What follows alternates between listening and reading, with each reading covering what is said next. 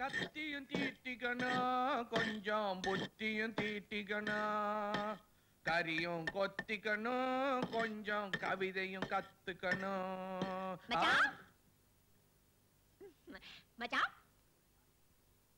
யார் பண்ணி எங்க அது வந்துக்கிறேன்? யார் நீ என்ன மச்சான்? எனக்கு தெரியல மச்சான். நான் தான் மச்சான். மச்சான் மச்சான்? ஏய் மூச்சுக்கு முன்னூறு தப்பா மச்சான் மச்சான்ற? நீ யாரு? எந்த சைடுல மச்சான்? என்ன மச்சான்? நம்ம டொம்பி குப்பத்துல இருந்தாரே. பல்லெடுப்பா. கொடுவா மிஸ் கோவிந்தா. நம்ம தண்டையார் பட்ட தொத்தாவை ஆ, கட்டிக்கினா அவருக்கு மூணு பசங்க.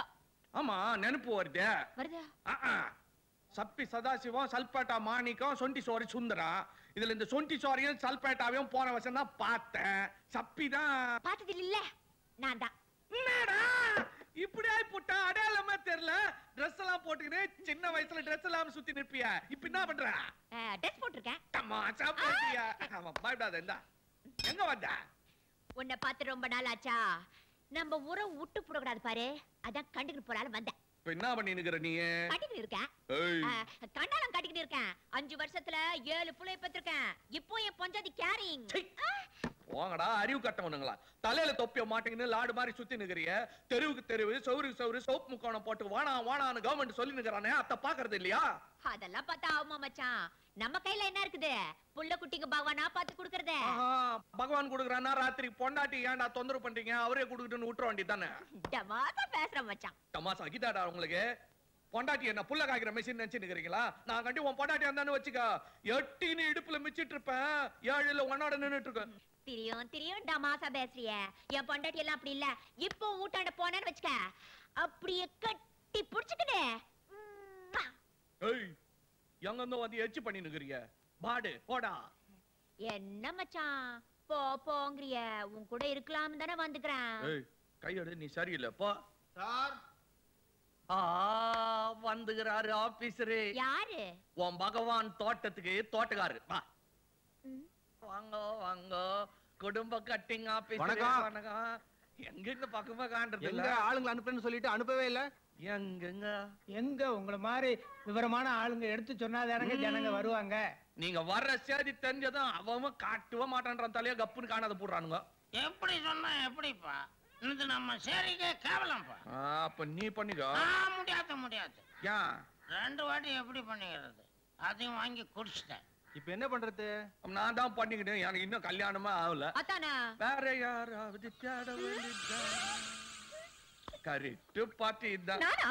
பின்ன யாரு? ஏற்கனவே யாழா. பொண்டாட்டி எட்டாவது கேரிங்க வீட்டுக்கு போனா கட்டி பொச்சு இம்முன்னு முத்தம் கொடுக்குறான். இட்டும் போங்க கன் பாட்டி அதெல்லாம் ஒண்ணும் இல்ல என்ன அப்புறம் எப்படி ஏழு. நீ இட்டும் போங்க சார். நான் உங்க அப்பா மாதிரி பெரியவர் சொல்றேன் ஒழுங்கா பண்ணிக்கப்பா. ஆ, பண்ணிக்கோ. ஐயோ எனக்கு ஒண்ணு வேணாம்னு விட்டுருங்க. என்னங்க? இருங்க இருங்க. பூடுமா பாட்டு. இட்டாரான். இந்த ஆபீஸ்ல வடிவேலு விட்டுருமா? இஷ்டத்துக்குன்னு வந்துரும். கம்முன்னு இரு. என்ன மச்சான் இங்க நின்னு நிக்கிற ஆபீசர் ஆபரேஷன் காத்து நிக்கிறாரு எனக்கு ஆபரேஷன் வேணாம் மச்சான். எனக்கு கத்திக்காண்டாலே பயம். கத்தி பயம் தான் மீசை எப்படி ஒதுக்குற? வாயா ஆம்பளைக்கு ஆபரேஷன் ஒண்ணும் இல்லையா? எறும்பு கச்சா மாதிரி. வா வா வா. எறும்பு வேணா புடிச்சு கையில உடுக்க அடிச்சுக்கிட்டு வானா எனக்கு ஆபரேஷன் வேணாம். ஏய் ஆபரேஷன் என்ன? சும்மா செஞ்சு சொல்றாங்க?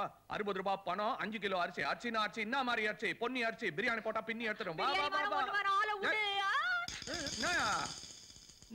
இது? பொம்பளை மாதிரி பாடி போட்டு நிக்கிற ஆ, ஆ, அது என் பொஞ்சாதி பாடி.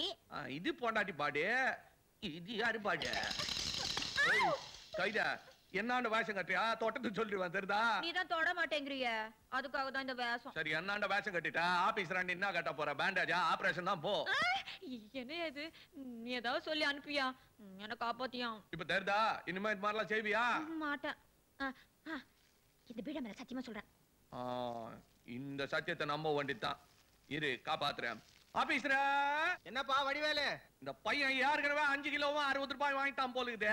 நீங்க வெறும் கையோட போக வேண்டியதுதான். அப்படியே அஞ்சாறு வீடு பார்த்துன்னு போயிடுங்கய்யா போயிட்டு வரட்டுமா? வாங்க. ஏயா நாளைக்கு நம்மளுக்கு கண்ணால ஆனா நாம் இருவர் நமக்கு இருவர் தானா? அத்தியம் என்ன ஆண்ட கேக்குற? நீ தானே சொன்ன எல்லாம் ஆண்டவன் கையில இருக்குதுன்னு. அவர் கையில சொல்லி அவர் பாத்துக்குவாரு போ. போ. பயங்கர பீடா. இத்த போட்டுன்னு பேசின்னு இருந்தாரு நீ கவுத்திட்டு இருப்பா.